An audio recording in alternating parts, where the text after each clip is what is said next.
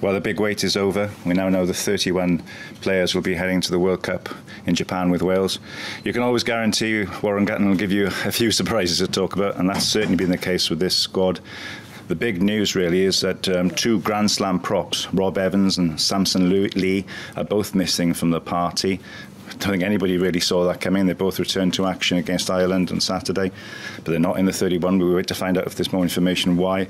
Elsewhere, Rhys Patchell, as people expected after yesterday, has got the nod in terms of the backup fly half to Dan Biggar. Uh, James Davies is on board now.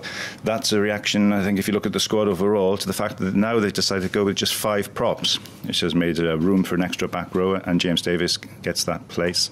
Corey Hill's been included, even though we know he's got this um, leg fracture, which means he's not going to be available until the, the second or the third game. And if you look at other areas that have been uh, big talking points in the centre, um, Owen Watkin has got the nod over the experienced uh, Scott Williams. And in the back three, Owen Lane, despite scoring the try against um, Ireland yesterday, he hasn't made it. With um, Amos, who's been around the squad for a longer period, he's the one who's included in the back three. So those are the 31 names. A lot to digest, a lot to talk about, and uh, we wait to hear more reasons from Mr. Gatland why he's made these intriguing calls.